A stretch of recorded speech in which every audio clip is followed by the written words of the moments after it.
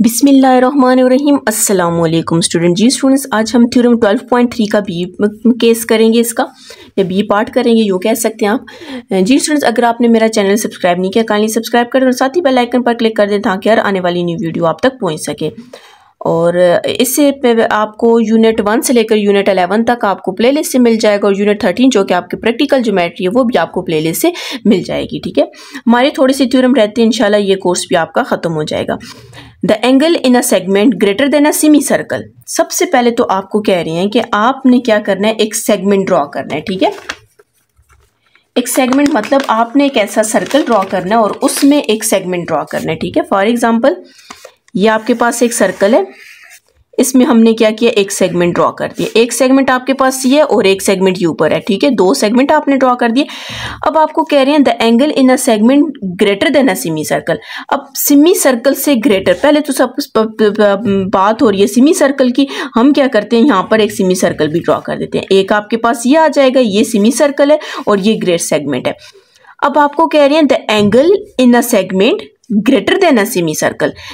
Semicircle से greater segment लेना है। मतलब कि ये तो आपके पास दोनों सेगमेंट इक्वल आ जाते हैं।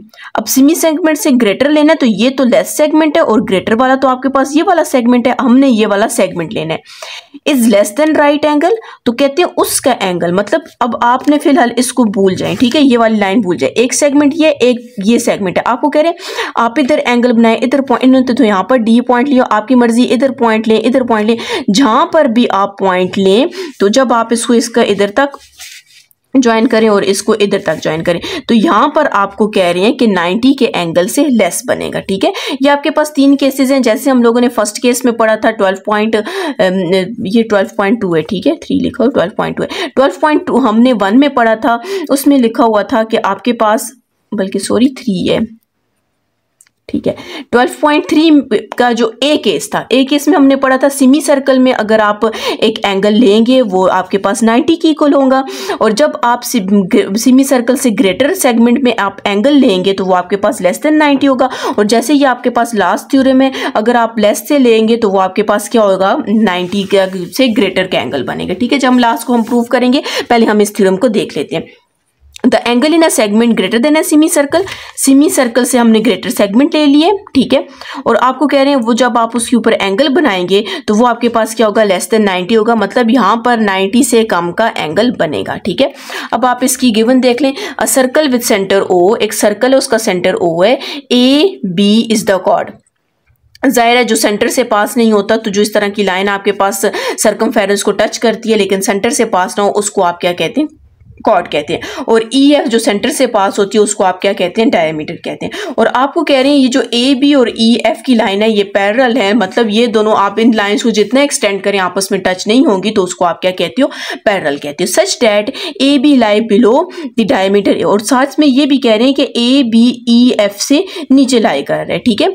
दस दस सेगमेंट सेगमेंट आपके पास क्या बन रहे ए ई सी बेशक ना लिखें कोई फ़र्क नहीं पड़ेगा। A E D F B आपके पास क्या बन गया? एक सेगमेंट बन गए is greater than a semicircular region और ये सेगमेंट पूरा आपके पास के इस सेगमेंट से सिमी सर्कल से ग्रेटर है. सिमी सर्कल वाला सेगमेंट कौन सा है? ई सी डी एफ़ है. ये लेस है. और A E D F B आपके पास क्या एक ग्रेटर सेगमेंट है आपके पास. ठीक है? सिमी सर्कुलर रीजन से. ए डी बी एक एंगल है. इन अ सेगमेंट सेगमेंट के अंदर। मतलब इस सेगमेंट के अंदर आपके पास ये एक क्या एंगल है। हमने प्रूफ करना है कि जो ए डी बी है मतलब डी के ऊपर जो एंगल बन रहा है, वो क्या लेस देन 90 है? क्योंकि आपको स्टेटमेंट में बोला गया था, यहाँ पर आपने प्रूफ करना है, ये क्या लेस देन 90 है। अब हम इसकी कंस्ट्रक्शन स्टार्ट करते हैं। कंस्ट्रक्शन में आपको कह रहे हैं join D and E join D with E and F आपने क्या करना है? डी से ई e तक ज्वाइन कर देना है और डी से एफ़ तक आपने ज्वाइन कर दे कोशिश करें कि जब भी आप कंस्ट्रक्शन ड्रॉ करें तो उसको डॉटेड लाइन से शो करें। ठीक है? हमने तो वैसे यहाँ पर ऐसे ही ड्रॉ कर दी, लेकिन कोशिश करें ज्वाइन करें डी से ई e तक और डी से एफ़ तक आप ज्वाइन कर दें। Such that E D F आपके पास ई डी एफ़ ये क्या है? सिमी सर्कल है, ठीक है? सिमी सर्कल मतलब जो सिमी सर्कल है, उसके अंदर का एंगल है ई डी एफ़ जो हम पिछले थ्योरम में इसी के जो ए पार्ट था, उसमें हम प्रूव कर चुके हैं, जो कि आपके पास 90 का एंगल है। मतलब ई डी एफ़ यहाँ पर जो डी के ऊपर एंगल है, यहाँ से लेकर यहाँ तक ये पूरा कितने के नाइन्टी के, ये हम पिछले थ्योरम में प्रूव कर चुके हैं। जी, अब हम इसका प्रूफ स्टार्ट करते हैं।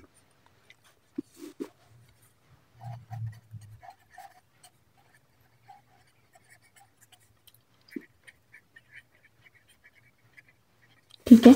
रीज़न सबसे पहले हमने जैसे मैंने अभी आपको बताया कि ई डी एफ़ जो आपके पास है मतलब जो यहाँ पर आपके पास एक एंगल बन रहा है, पिछले थ्योरी में हमने प्रूव किया था कि सिमी सर्कल के अंदर अगर आप एक एंगल लेंगे तो वो हमेशा आपके पास 90 का एंगल होगा। इसी वजह से हम यहाँ पर लिखेंगे measurement of angle E D F ये किसकी इक्वल है?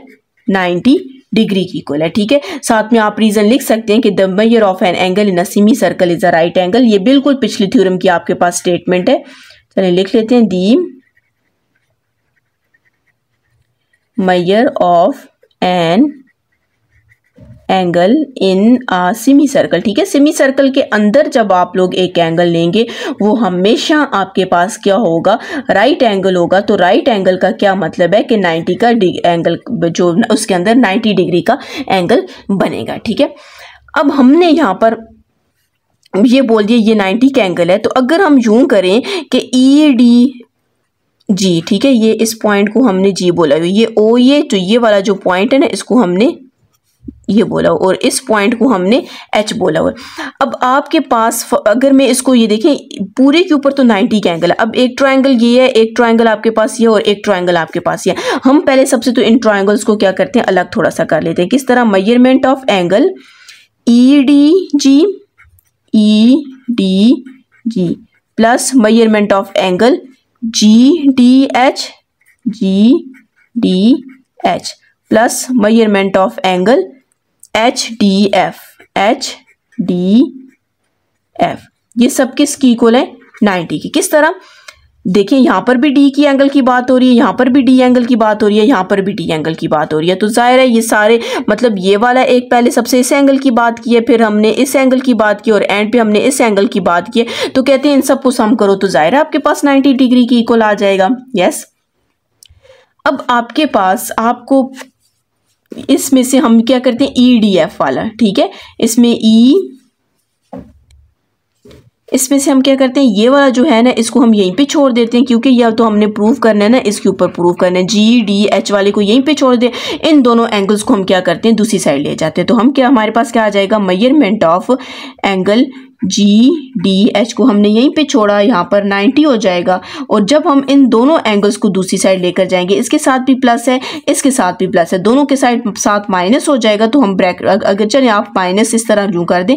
पहले आप इस वाली साइड को इधर ले आए तो ये माइनस में हो जाएगा minus measurement of angle H D F और जब इसके साथ प्लस है तो इसको इधर लेकर आएँगे तो ये भी minus measurement of angle E D G हो जाएगा। Measurement of angle G D H equals to ninety दोनों में माइनस को कॉमन ले लें तो माइनस कॉमन लेंगे तो measurement of angle H D F minus जब कॉमन लेंगे तो साइन चेंज हो जाएगा measurement of angle E D G, आपने कॉमन ले लिया। अब आपने प्रूफ करना था कि जी डी ये एच है, ठीक है? जी डी एच इसके ऊपर हमने प्रूफ करना था कि ये लेस देन नाइन्टी का एंगल है। ठीक है?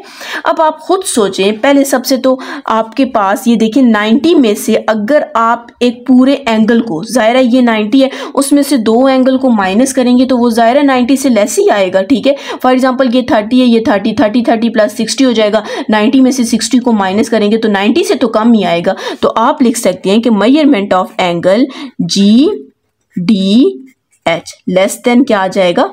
90 आ जाएगा, ठीक है? ज़ाहिर है ये जी डी एच इससे क्या हो जाएगा? लेस देन 90 हो जाएगा। दो एंगल्स को एक एंगल 90 में से माइनस करेंगे तो लेस देन 90 हो जाएगा।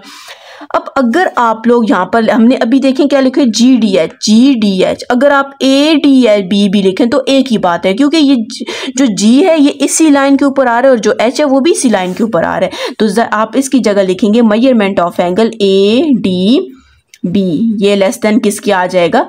90 डिग्री की इक्वल आ जाएगा, ठीक है? अगर आप लिखेंगे जी डी एच लिखें या ए डी बी लिखें तो ये दोनों आपके पास सेम है क्यों सेम है? क्योंकि ए ये दोनों एक ही लाइन के ऊपर आ गई। क्योंकि एंगल तो हम तो डी ले रहे हैं। आप ये वाला पॉइंट लिख लें या ये वाला पॉइंट लिखें तो इसमें भी एंगल तो हम डी ले रहे हैं तो आप एच लिख लें या फिर आप बी लिख रहे हैं तो आपके पास एक ही बात है। आप यहाँ पर लिख सकते हैं, ये दोनों आपके पास के सेम है, ठीक है? तो हमने यही प्रूव करना था कि आपके पास ए डी के ऊपर किसने का एंगल है? लेस देन नाइन्टी है। नाइनटी से कम का लेस है अब आप ज़रा इसको खुद सोचें, जो हमने 12.3 ए में किया था, वो सिमी सर्कल में क्या था?